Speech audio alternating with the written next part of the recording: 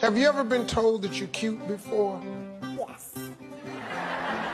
My mama told me